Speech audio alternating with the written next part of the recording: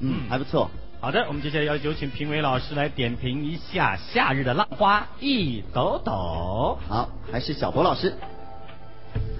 李霄宇，你知道在这个舞台上抱着吉他唱歌是相当危险的事情，但是我要谢谢你，让我想到一个人，叫王志新，曾经唱了一首《火柴天堂》。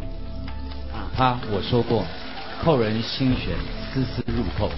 我谢谢他，也谢谢你，把这首歌抱着吉他演唱完以后。把我们现场所有人，包括电视机的观众朋友，帮带入到夏天里的快乐天堂。谢谢。是。